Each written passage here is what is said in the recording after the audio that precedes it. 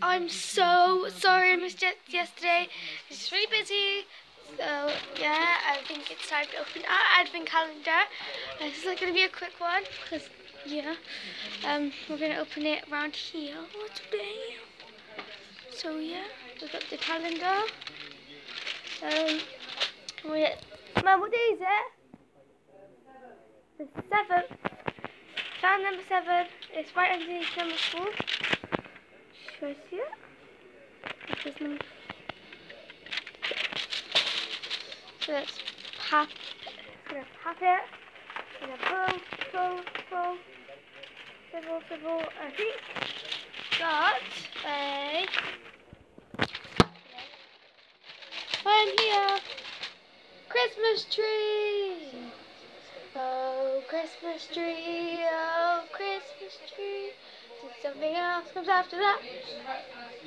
What? One second. So yeah, I'm gonna end this quick guys because I need to do stuff. Yeah. So, bye.